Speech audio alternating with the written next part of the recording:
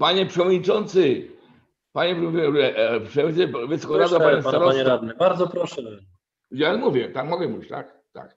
Panie przewodniczący Wysokorada, panie e, naczelnik, panie naczelnik, że pan się stara, to nie wszystko. Starać się może dzisiaj kupić samochód, drugi dom, konkretnie. Konkretnie trzeba w tych działach działać. Rozpracować szkoły zawodowe i, i e, szkoły. Tu jest nasz, nasz cel jako powietrze. Nie mamy rąk do roboty, nie pracy do zawoda. Powyjeżdżało bractwo to. Nie kształcimy to, że pani się stara. Stara to wiele rzeczy. Co konkretnie trzeba zrobić? Konkretnie mamy tragedię, to, to, to, to robimy.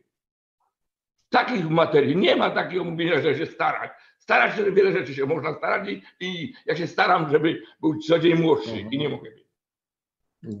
No tak. Powodzenia życzymy.